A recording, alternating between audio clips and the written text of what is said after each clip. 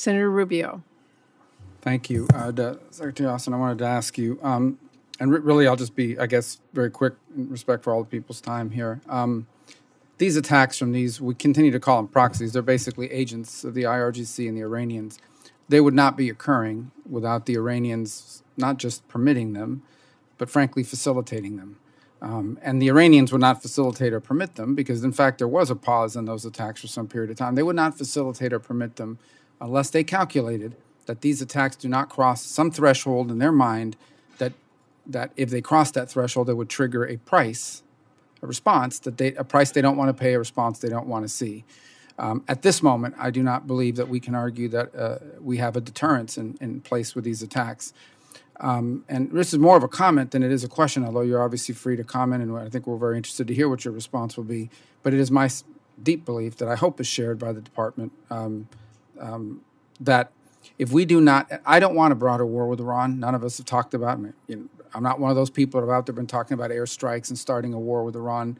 Is a, is a tinderbox to begin with. But if we do not have a credible, not just a deterrence, a credible deterrence with the Iranians, these attacks are going to escalate. They're going to come faster. They're going to spread beyond Syria and Iraq, and they will involve weaponry of increasing sophistication and lethality.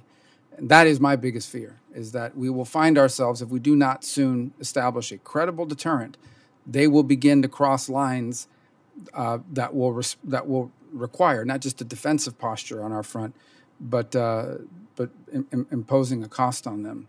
Um, I, one of the biggest, obviously, I, I, share all the comments that have been made here about the horrifying incident involving Hamas and everything they've done in the past and, and moving forward, the, the need to be, stand with our allies but I think this is the one that really, really, this is the one that has the threat to quickly spiral out of control. Is that these groups escalating these attacks to include more places at a faster clip with more lethality and sophistication if we do not establish a credible deterrent quickly. Senator, I, I agree with you that uh, that um, if they are, if they're not convinced that we will do what's necessary to protect our troops, then they will continue on as they are. But I've been clear, president's been clear that uh, that's something that we won't tolerate, and we will resp- we will do what's necessary to protect our troops. You saw me move uh, another carrier battle group. Uh, actually, it's it's in the Med now. It's headed to the uh, the uh, the Gulf region.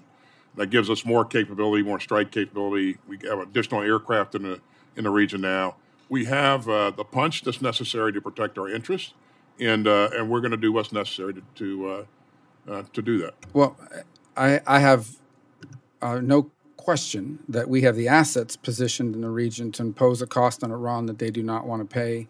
I hope we never have to do it. I guess the fundamental question really becomes: Do they believe we would actually do it? I'm not again, I'm not, I understand the complexity of the situation where something could trigger and suddenly this thing begins to move in a direction that spirals out of control.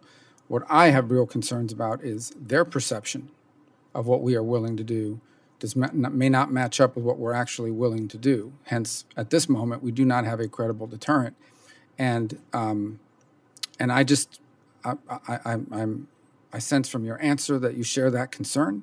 Sometimes, what, even when we say things, they may not believe us, even if we have the capability to do it. So it's one of those situations where we don't want there to be a shooting war, certainly, and seeing this thing escalate. But I think one of the things that guarantees escalation is the lack of a credible deterrent. It's a complex and serious matter, and um, and one that I, I, I hope you sounds like you share my concern about it quickly spiraling here, uh, primarily because of uh, uh, Iranian perceptions of of our willingness, not our capability, but our willingness to take deterrent action.